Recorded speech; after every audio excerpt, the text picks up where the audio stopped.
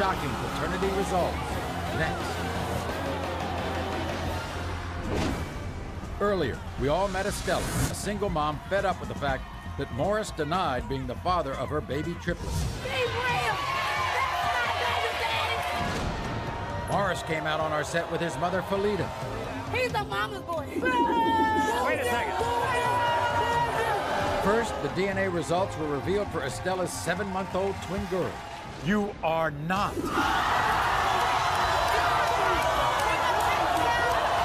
And then the DNA result was revealed for the third triplet, Estella's seven month old son. You are not.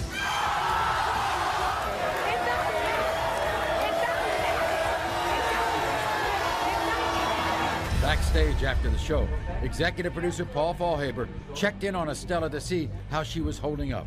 How you doing? I'm doing fine. Yeah? I'm gonna still take care of them regardless. Do you know? Do you have any idea? Yeah. Really? Mm-hmm. Is he a good guy? Yeah, I guess. Doesn't matter. Do Because wanna- I'm gonna still take care of them no matter what. And it was truly special to see Morris's mother reach out to Estella in her time of need. It's all right. You need my help, I got you. Thank you, Miss Felicia. All right, baby.